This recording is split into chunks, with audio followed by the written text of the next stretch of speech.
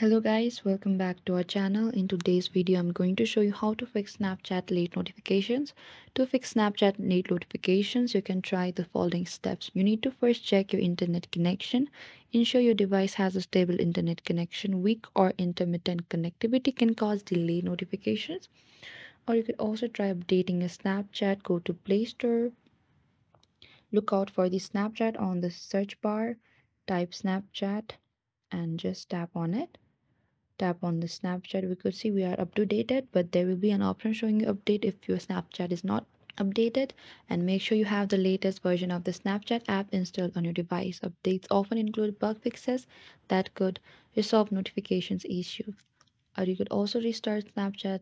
Sometimes restarting the snapchat app can help refresh its notification system.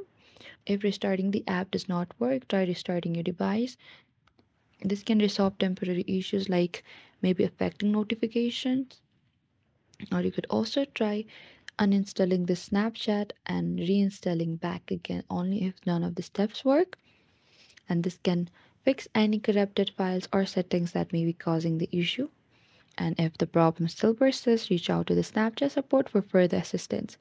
And they may be able to provide specific troubleshooting steps for your device and account and by following these steps you can often resolve issues with late notifications on snapchat.